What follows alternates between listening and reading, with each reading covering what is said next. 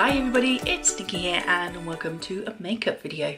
So today is my first update for the Women Who Rock project pan. This was created by, I have to check my book again, uh, uh, Cece, Kim and the lovely Ruth. Um, so last month I told you that I was going to be um, researching each of the women as I bring them into the project. However, um, I do not have any rollouts this month, so I am not rolling anybody in. However, I do still want to highlight one amazing woman um, in this video um, because it only seems right um, that I highlight someone in every video um, and this month it has to be Her Royal Highness Queen Elizabeth II who sadly passed away on the 8th of September. Um, it was a sad day for most of Great Britain and the Commonwealth. I will acknowledge that not everyone agrees with the monarchy and its constitution and I understand that there is also some disagreement about the colonies and places that are ruled by Britain um, and our monarchy um, but I don't really want to get into all of that. I just want to highlight the woman, Queen Elizabeth II, the amazing woman who is now the longest reigning monarch of Great Britain. Now I'm going to um, give you some information about her and I'm taking this information from this little book of Kings and Queens of England written by Martine Pugh. It's this cute little square book that goes from um, all the way back to uh, King Egbert, uh, who was um, a king of Wessex between 802 to 839 and was the first Saxon king recognised as sovereign of all England. So it really goes back all the way and goes through all the kings and queens of England. Um, so yeah, this is a great little book um, that just gives just enough information to pique your interest and then you can go off and find uh, books about each individual person as you so wish. Um, my main love of history is the kings and queens of England and Great Britain.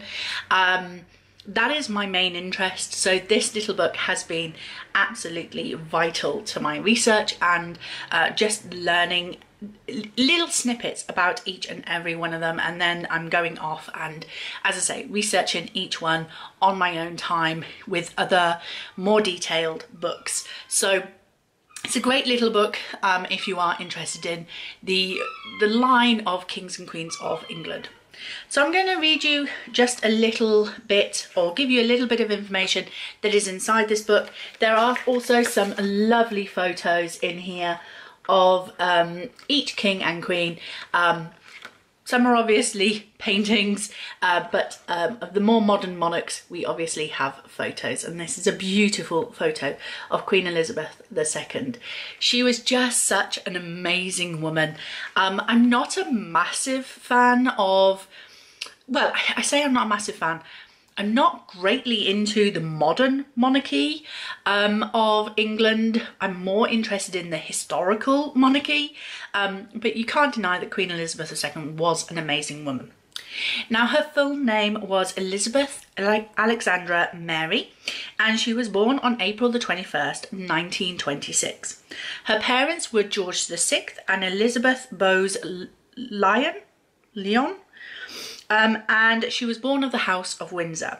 Uh, she became queen on February the 6th, 1952, and she married Philip Mountbatten, um, who was the son of Prince Andrew of Greece and Denmark, and he renounced his Greek nationality and became a British citizen, adopting that surname Mountbatten uh, before his engagement to Elizabeth. And when they married, uh, King George VI gave Philip the title Prince Philip, Duke of Edinburgh.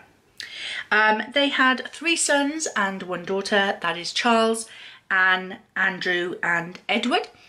And sadly, as I say, she did die on the 8th of September 2022. Um, now, during the outbreak of World War II, Elizabeth and her sister Margaret um, largely stayed out of London, spending much of their time at Windsor Castle. And from there, she made a famous broadcast um, over the radio. Um, Elizabeth sought to reassure the children who had been evacuated from their homes and families. At the age of just 14, uh, she showed her calm and firm personality, telling them that in the end, all will be well because God will care for us and give us victory and peace. Um, she soon started taking up other public duties and was appointed Colonel-in-Chief of the Grenadier Guards by her father and she made her first public appearance inspecting the troops in 1942 and she began to accompany her parents on official visits within Great Britain. In 1945, Elizabeth joined the Auxiliary Territorial Service to help in the war effort, and she trained side by side with other British women to be an expert driver and mechanic. And although her volunteer work only lasted a few months, it offered Elizabeth a glimpse into a different non royal world. On the 14th of November 1948, Elizabeth gave birth to Charles, um, and on the 15th of August 1950, Anne was born. Elizabeth learned of the sad death of her father um, and her elevation to the throne on the 6th of February 1952, uh, whilst uh, her and her husband were on a safari in Kenya. And she was crowned on the 2nd of June 1953. It was the first televised coronation and was watched by over 120 million viewers in the UK and North America alone. It was a massive event. Unfortunately, at the start of the 21st century, Elizabeth uh, experienced two great losses. Um, her sister Margaret and her mother both died in 2002 Margaret dying in February after suffering a stroke, and just a few weeks later, Elizabeth's mother, known as the Queen Mother, died at the Royal Lodge on March the 30th at the grand old age of 101. How remarkable. Um, so obviously, um, Queen Elizabeth has um, gone on to celebrate her 60th Jubilee and then recently uh, her 70th Jubilee, I believe, um, which were both amazing events. I remember watching um, the big party that was going on outside Buckingham Palace for the 70th Jubilee. It was just such an amazing event. There was so many celebrities turned up. Um, and when I watched the Queen's funeral, it really brought a tear to my eye. I know that so many people really felt her passing away and it showed by the number of people who turned up for her funeral and she's just such an amazing woman even um, when she was there uh, calling Parliament back into um, into the Houses of Parliament, um, and she was she was still very much making sure everybody was doing their job, making sure everything was in place at, at the grand old age of, of 90 something. I can't remember how old she was um, off the top of my head, but she was just such a remarkable woman, regardless of the fact that she was the queen. She was just a remarkable woman and it's sad that she's passed away, but I knew that it was going to happen soon. Um, sadly, her husband, uh, Prince Philip, died a few years ago, and I just felt like, you know, we didn't have long with her. I knew that. Um, so yeah, um, What do you think about Queen Elizabeth II? I don't want to get into any arguments about the monarchy um, or any other issues regarding the monarchy.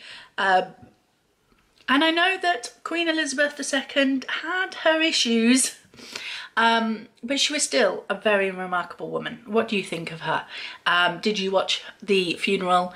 Um, and will you be watching King Charles III coronation when that happens? I believe next year. I will be. Um, so yeah, uh, so let's get into the products. So the first lady that I pulled out was Anne Frank and for that I needed something that makes me feel brave and that was my MAC lipstick in Heroine. I am wearing it today.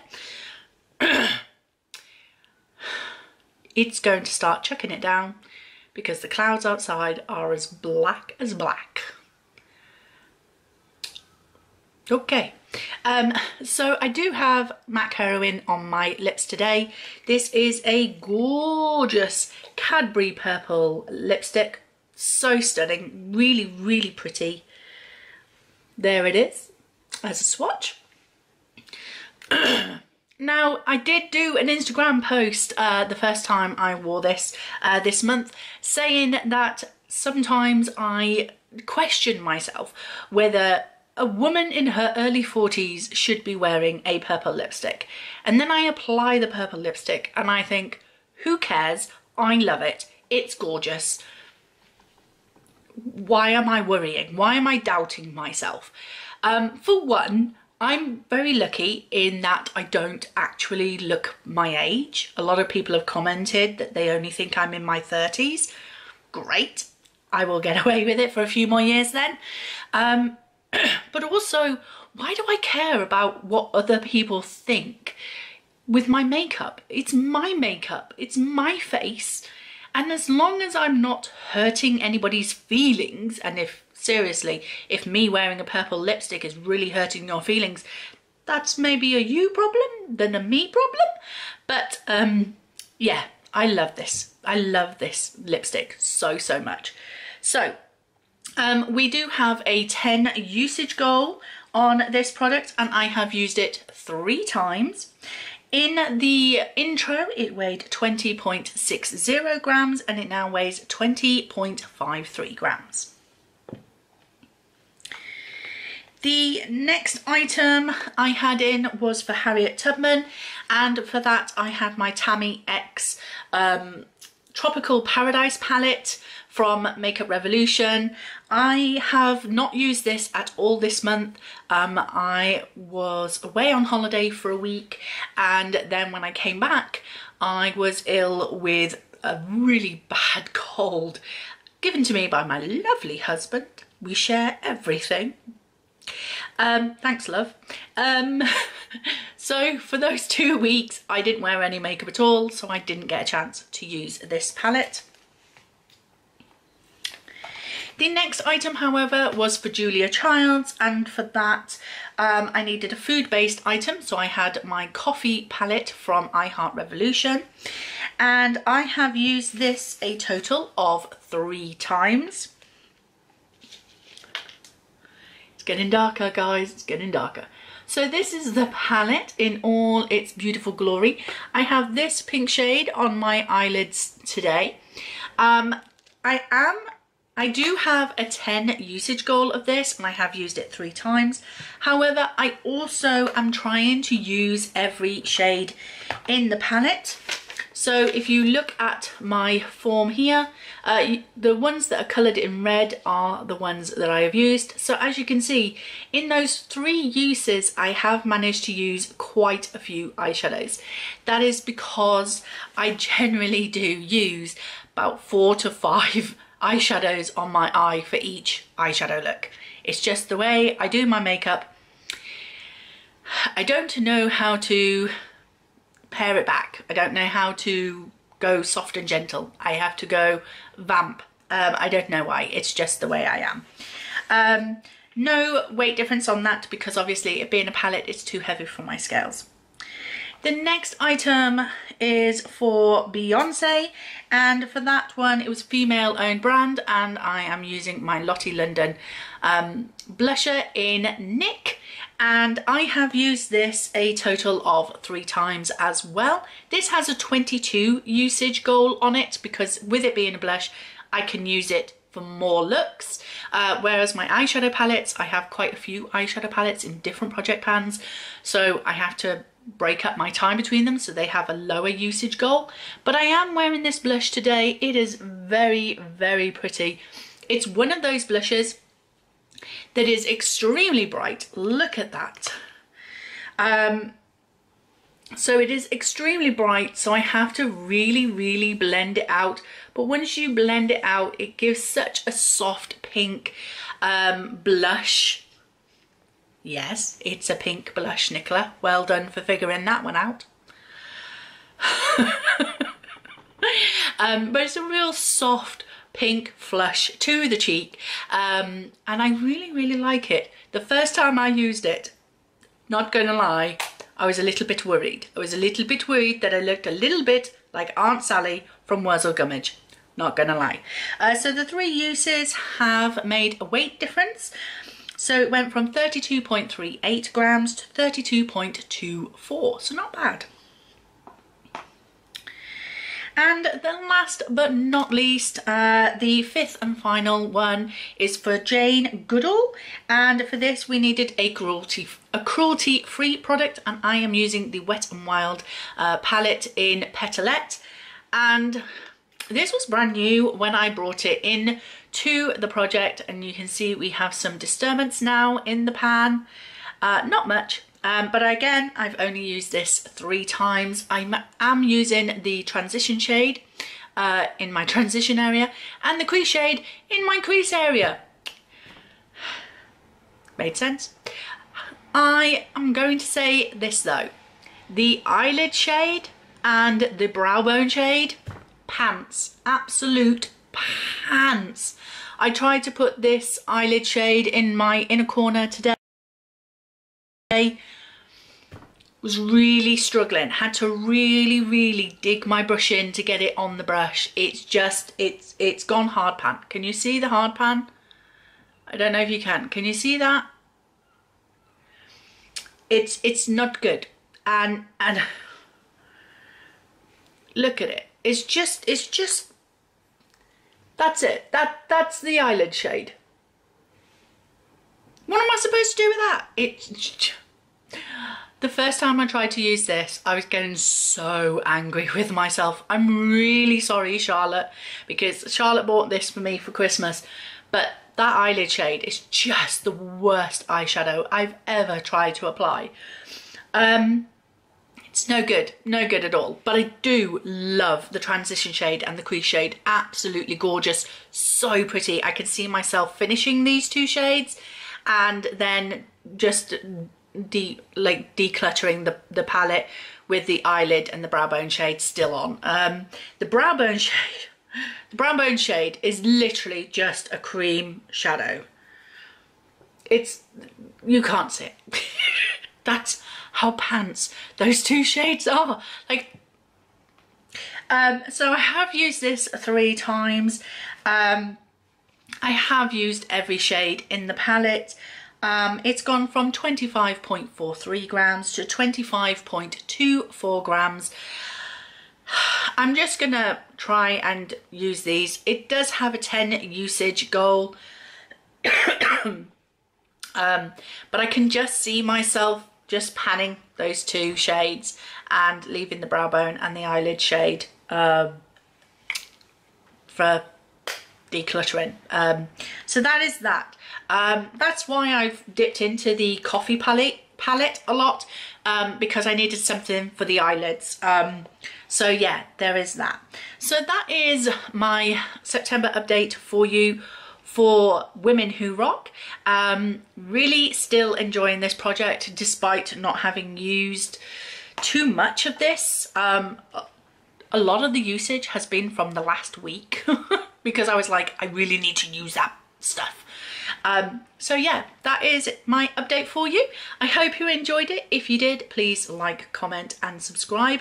And before I go, actually, is there any particular woman that you would like me to research for you and give you information about in my next video? Because I'm happy to do that. Even if I do have a rollout and I will be rolling a new woman in, I will always keep like any names that are suggested to me for future time when I maybe don't have a rollout.